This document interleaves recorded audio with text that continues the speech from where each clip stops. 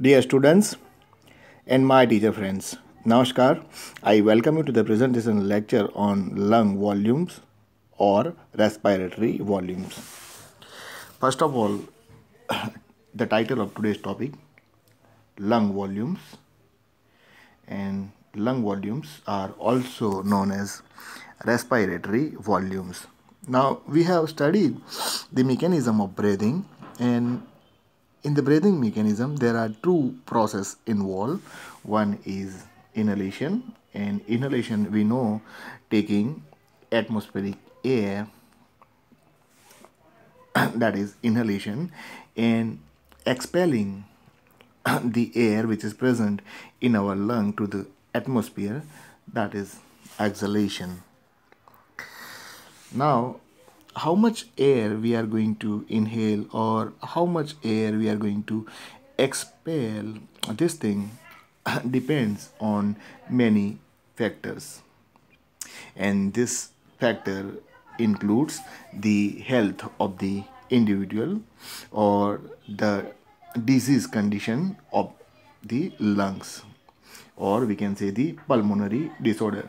So how much volume of air the person is going to inhale or exhale that depends on individual's health or the person's health and any kind of infection or disease in the lungs. Okay? Now the different amount of air we can classify into two type. One is lung volume and the lung volumes are measured by apparatus called or the instrument that is used for measuring the lung volume that instrument or apparatus is known as the spirometer. And what are the lung capacities? So lung capacities are the combination of various lung volumes. Okay. So this is the first point of our discussion. Now moving on to the second point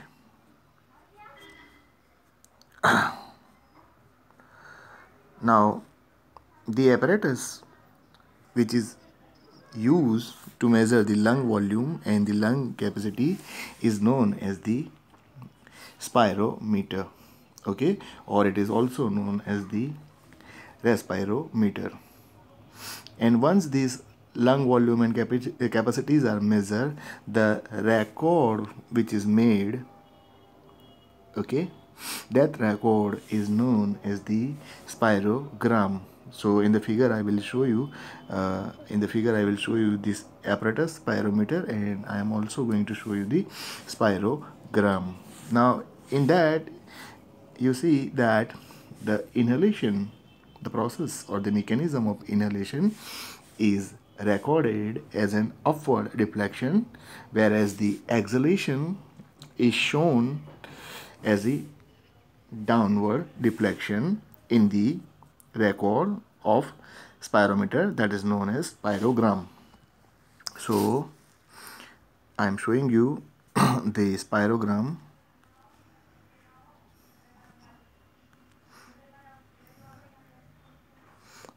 First uh, let me show you the spirometer. Then I will show you the spirogram. Over here you see one lady okay is standing near the spirogram uh, spirometer. This is the instrument or the apparatus okay which is used to determine the lung volume and the lung capacity. Now uh, if you observe that the nares or the nostrils they are closed off okay. So and one pipe is inserted in the lady's mouth okay and this is the apparatus. Now if you see this apparatus uh, in this apparatus there are two container or two vessel or we can say there are two metal drum. Okay and in one drum the air is filled and the second drum the bottom one is having the filled with water. And here this one is the pulley and on the pulley there is a string and with the string the pen is attached and this is the recorder and this white paper on which the lung volume and capacities are recorded that paper that record is known as the spirogram okay? So one more apparatus I would like to show you so that you will have the clear idea see over here the pipe is inserted. Here you can see there are two canisters or two vessel or two drums. So in the bottom drum water is filled and this drum second one is having filled with air. Now this person this person is exhaling exhaling the air from the lungs. So see the level of air goes up okay and the string rotates on the pulley and at the end of the string the pen is attached and the pen is recording the record on the spirogram okay? So this is the spirogram. And here the this one is the original one okay? So here you see this is the spirometer okay? Now one more I would like to show you. Spirometer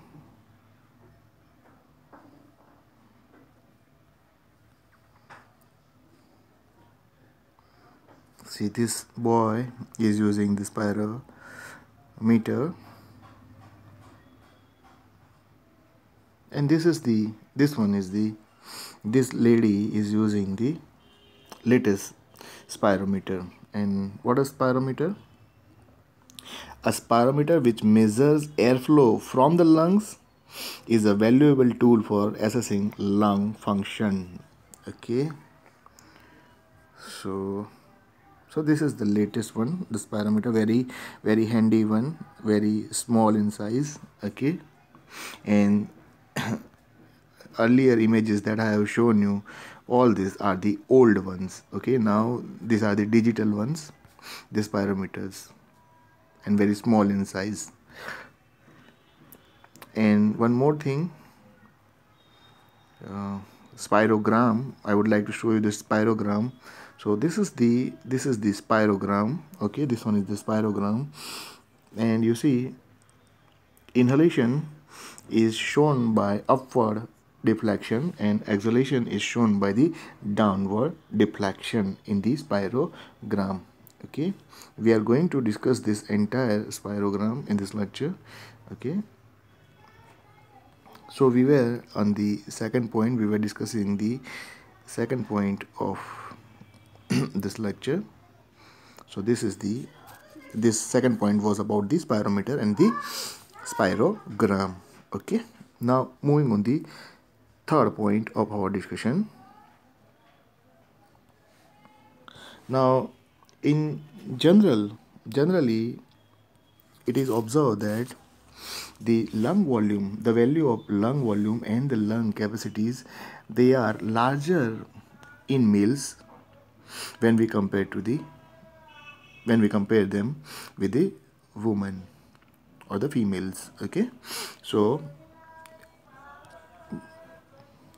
lung volume and capacity are larger in males then these values are larger in taller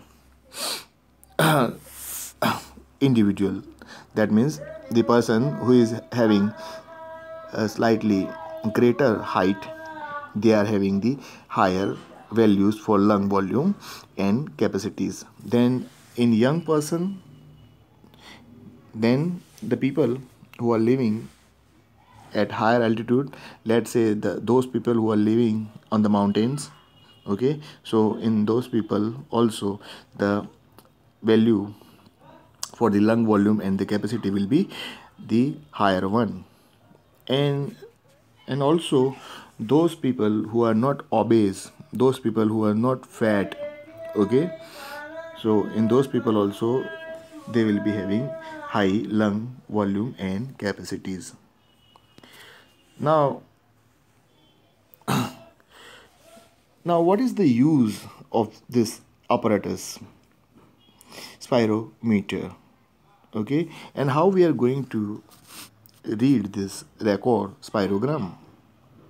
So by reading the spirogram the doctor okay or the pulmonologist they are able to diagnose the various disorder or disease or the infection of the lung.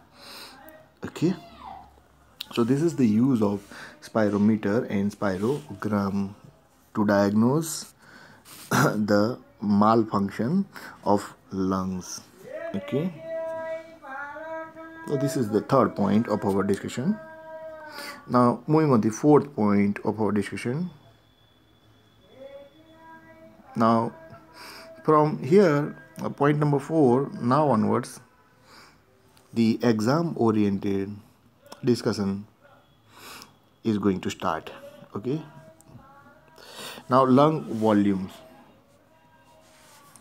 Now in one minute a person can breathe 12 times okay? So with that resting condition healthy adult person averages 12 breath per minute. So we can breathe 12 times okay in one minute. Now in each in each breath means in each inhalation and exhalation we can move 500 ml of air into or out of the lung. So we can inhale or we can ex expel 500 ml of air in each breath. And this volume this 500 ml of air which we are capable of inhaling in one breath this volume is known as the tidal volume okay? And it is denoted by capital V T tidal volume. So this is the first lung volume tidal volume okay? 500 ml of air that can that we can move in or move out from our lung. That is known as tidal volume okay then so here here the key is given. Okay now what this key is for? So this entire circular portion they are showing the lung. So imagine this is the lung. For example this entire space you can say this is our lung. Okay? So this is the lung. And outside the lung they are showing the dead space. Now what is dead space? So we are going to discuss about the dead space also. Now we are moving on the fifth point of our discussion.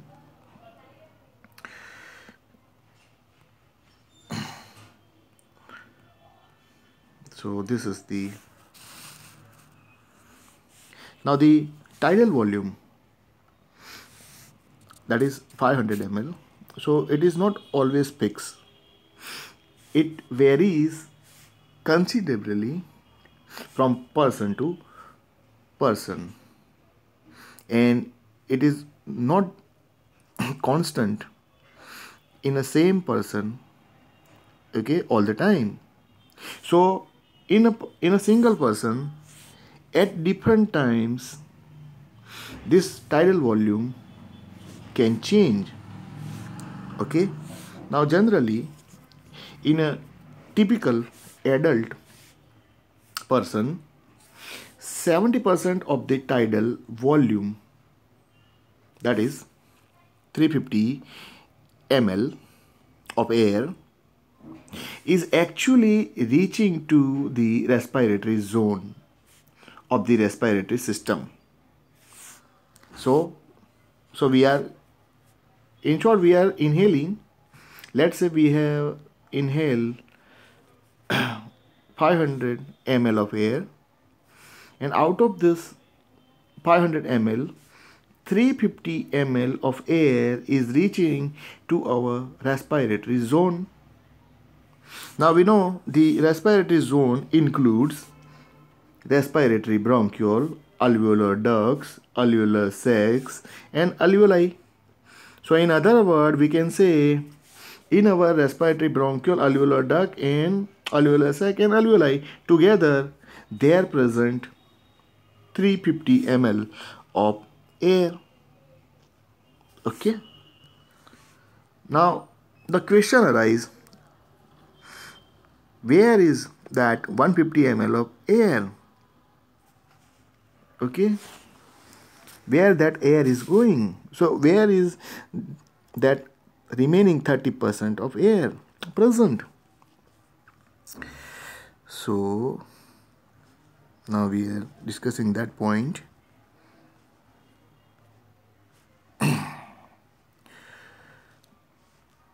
So now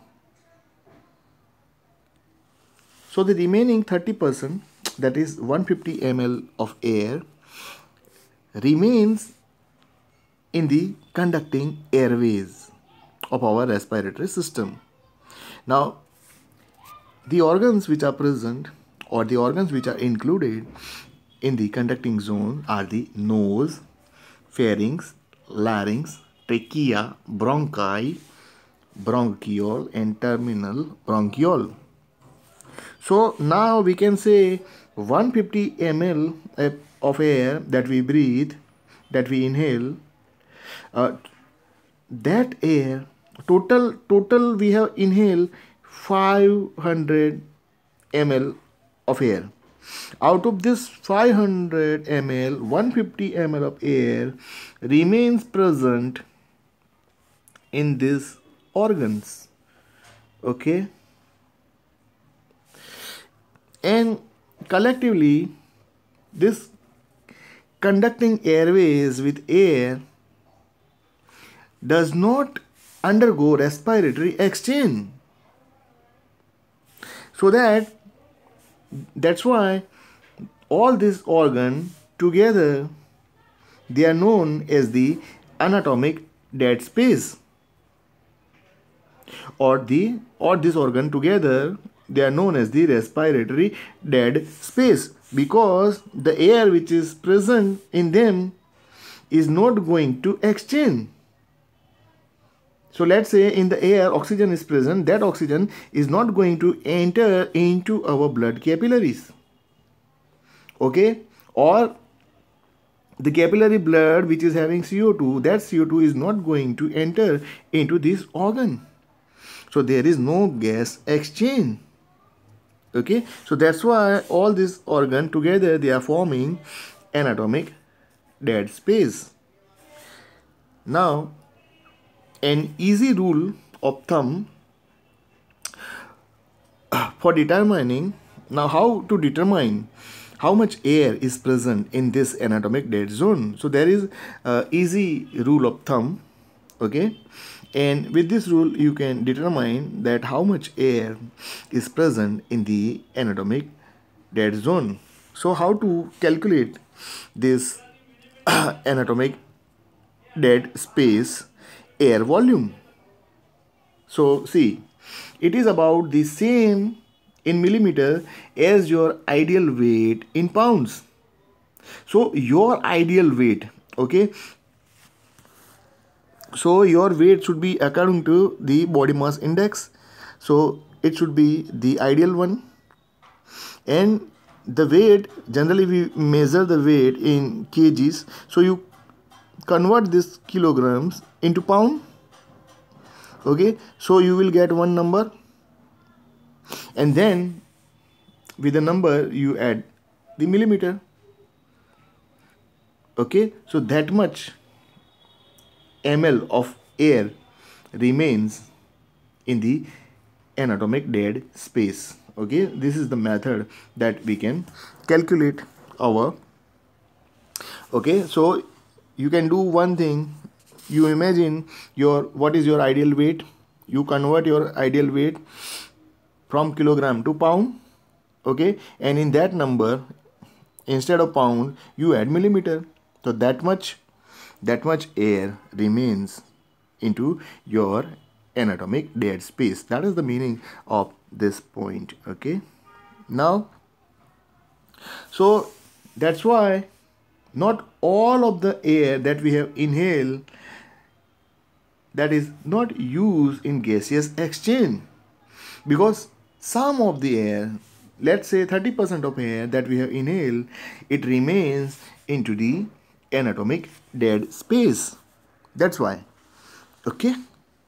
So this is the sixth point of our discussion. And this is this entire this is this is our this one is our lung. This is our lung volume. And we have discussed this thing okay? In lung volume we have discussed this thing. Tidal volume we have discussed okay? So tidal volume we know we now know it is 500 ml okay. Now we are discussing the seventh point.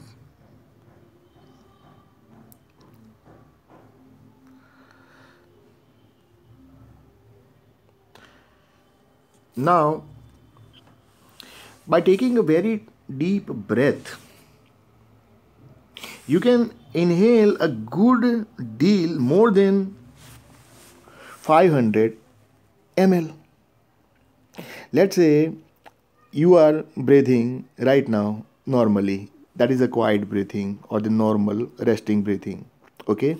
Now forcefully okay you try your best and try to inhale maximum air after normal inhalation. So you will be able to if you are a man if you are a man then you will be able to inhale additional air. And how much air you will be able to inhale?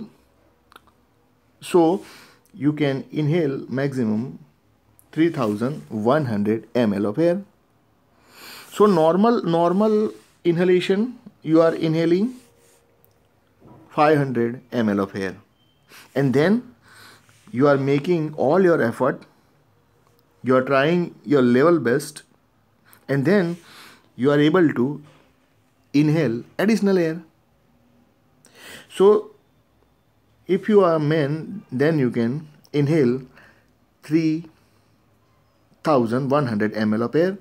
So this is this is known as inspiratory reserve volume in short IRV or in case if you are if you are a woman or if you are a girl then if you are inhaling 500 ml of air then if you try your level best okay and so if you are take a deep breath then you will be able to inhale additional 1900 ml of air. So this additional 1900 ml of air. For you it will be known as inspiratory reserve volume that is IRV okay so uh, in the seventh point we have learned we have discussed about the IRV what is IRV okay. So in the figure let's see.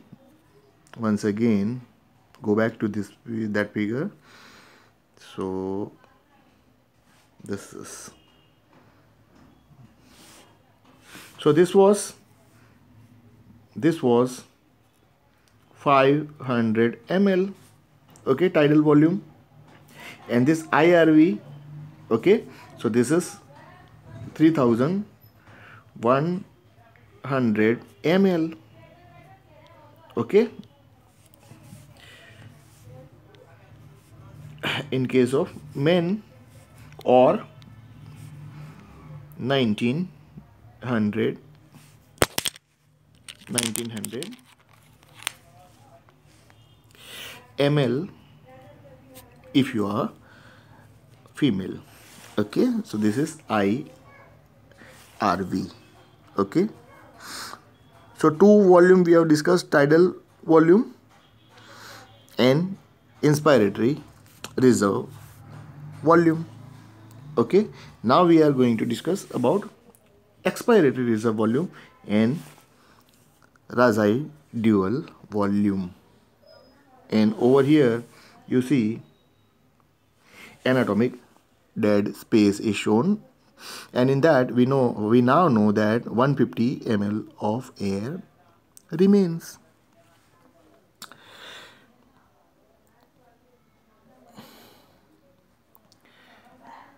so now we are moving on the eighth point of our discussion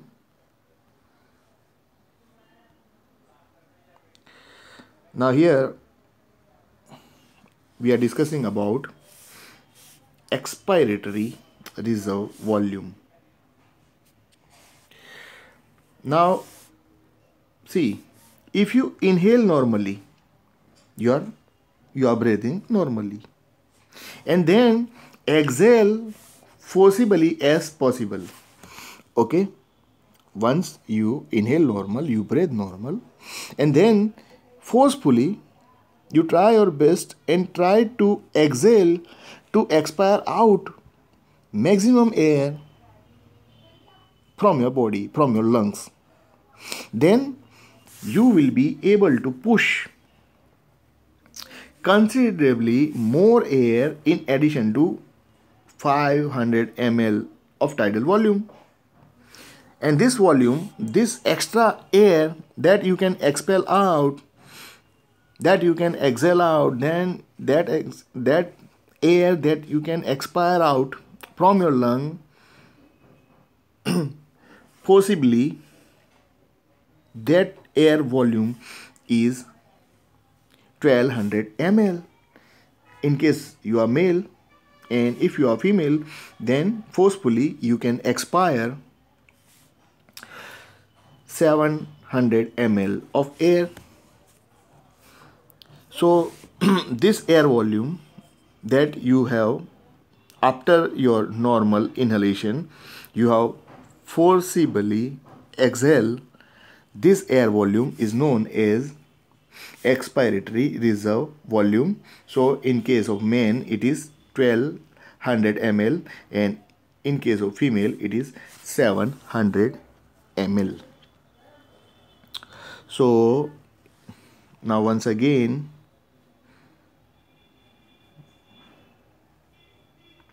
so you remember these values okay? 1200 and 700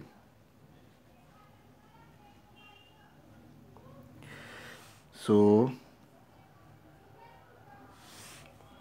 this is this is this is 1200 this is 500 and this is 3100 in case of men okay? So you try you make the total okay?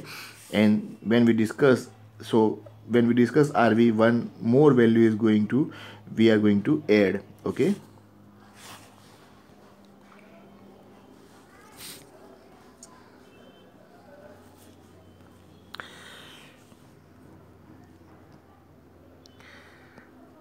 now now we are in ninth point.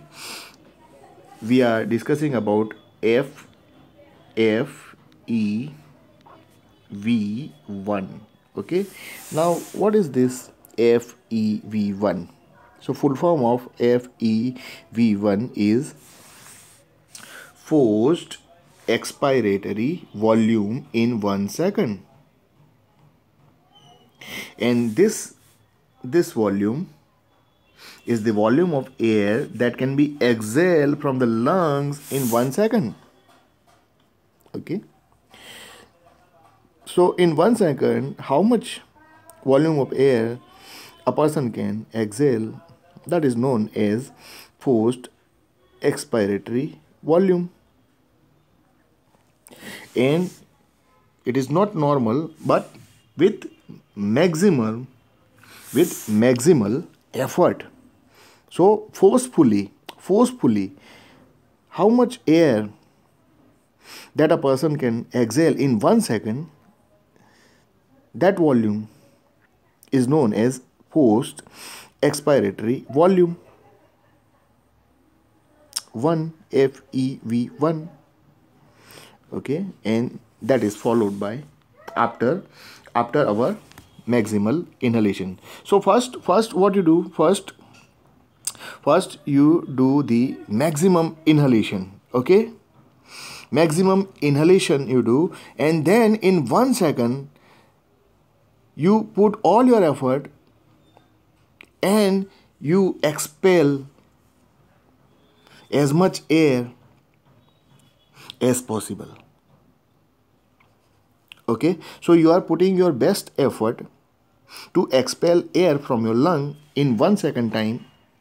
That is known as force expiratory volume 1 now uh, chronic obstructive pulmonary disease that is known as COPD greatly reduces this FEV1 so person who is suffering from this COPD disease is not able to forcefully expel air. The reason is uh, the COPD increases the airway resistance okay? So the respiratory organs or the respiratory tract is impacted so person is not able to expel the air okay forcefully. That's why now moving on the 10th point of our discussion. So here now we are going to discuss about the RV okay? Residual volume RV now what is RV now even after the expiratory reserve volume is exhaled some air considerable air remains in the lung. You try your best to exhale the air, even though some air is remaining, still remaining in our lung. And this is happening because of the subatmospheric intrapleural pressure. And this pressure is keeping the alveoli slightly inflated. So the alveoli remain enlarged or the bulgy. Okay inflated means inflated means uh, filled with air. So alveoli still there. Even if you try your best to ex expel the air out from your out from your lung then also some air still remaining in your alveoli and some air remains in non collapsible airways. Let's say some air is remaining in the alveolar duct or the respiratory bronchiole. It is possible. Okay. So, how much air is present in your alveoli or the alveolar duct or some other places like the respiratory bronchiole? Okay. So, this volume is not measurable by spirometer. And this volume is known as Rasai dual volume RV and this this amount is the value or the amount of RV is in men it is 1200 ml and in case of female it is 1100 ml. Okay? So it is a reserve air volume we can say. It remains in the lung. Okay? So it is 1200 so this rv okay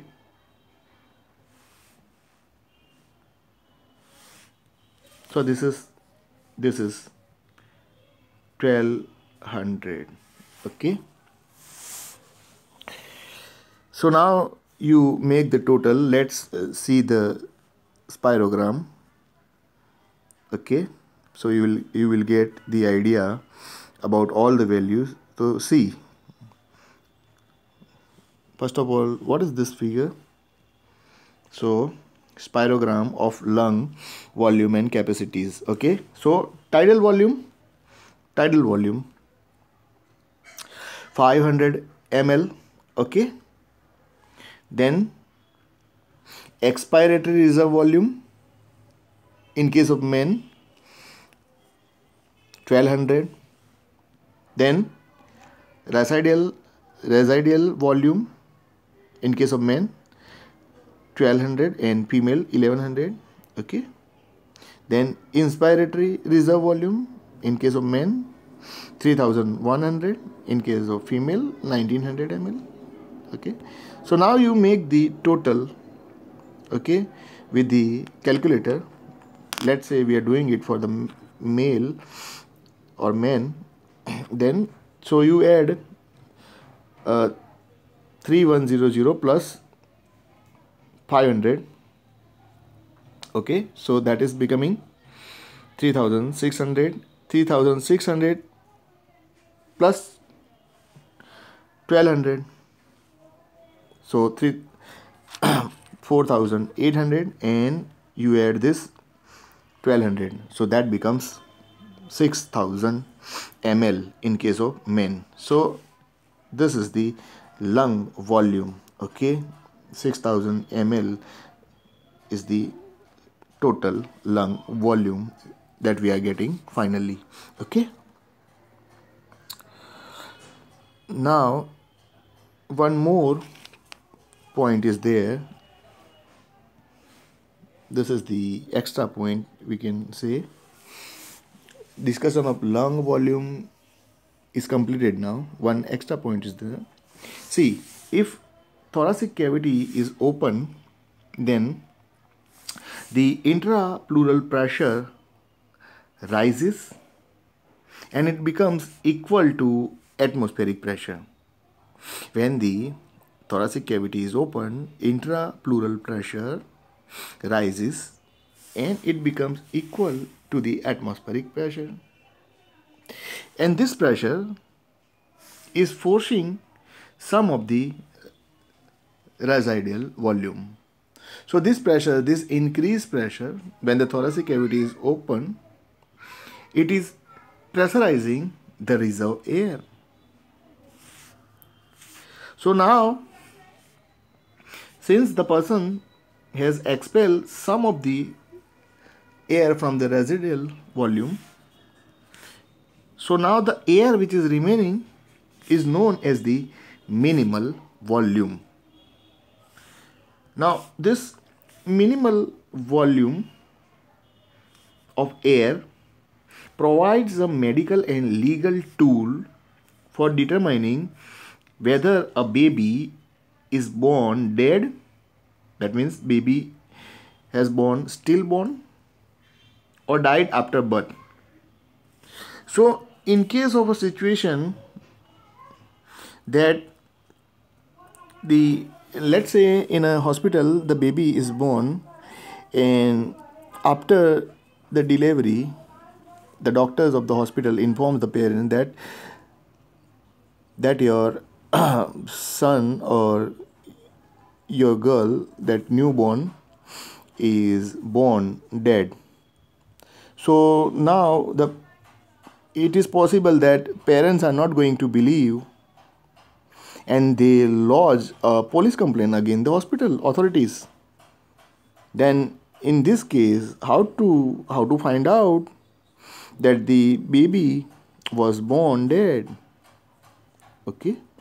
So in this situation the the presence of minimal volume in the lung is a very handy tool in this situation. Now, what they are doing in the postmortem room, uh, they will demonstrate placing a piece of lung in water okay? And observing that the piece of lung is floating in the water or not. Now what happened during the embryonic development okay or the fetal lung?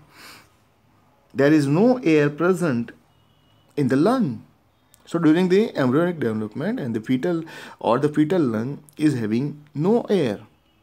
So if the baby has born dead or the baby is stillborn, so that that means there will be no air is present in the baby's body. Okay? So in the in that case the lung are not going to float okay? So when the piece of lung will put on water it will immediately reaches to the bottom of the water. Okay? And this will prove that the baby was born dead. Okay? So this thing this is the 11th point. Now now I will I would like to show you some uh, important figure for you so that one by one I will show you. See these are some formula. Even though we have not discussed today and in next lecture we will discuss the lung capacity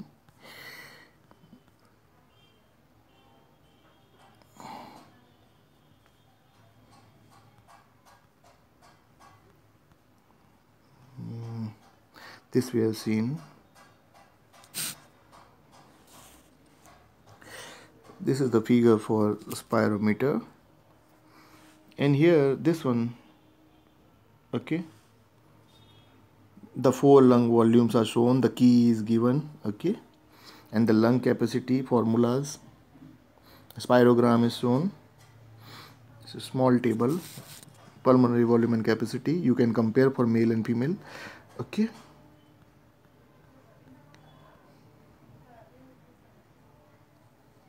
this one.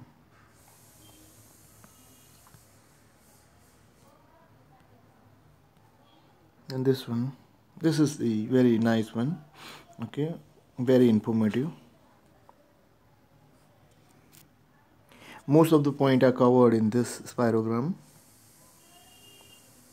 Okay. we are focusing on lung volume and right hand side if you are interested you can see these values for lung capacities but in my next, lecture we will discuss this lung capacities. Then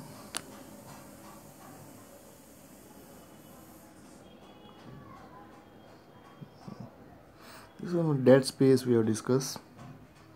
And this one is also nice one. Spirographic record for a male. Okay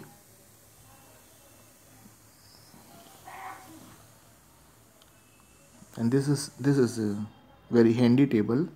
So just in case uh, during your exam time you can prepare all the lung volume and also the value for the lung capacities are also given. So the table is in two part. Okay in first part the respiratory volumes are given and in second part respiratory capacities are given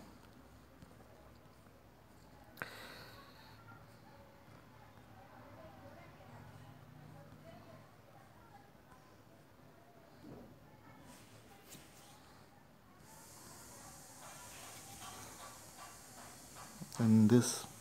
Okay. So here you will get the idea. Anatomical dead space. Okay.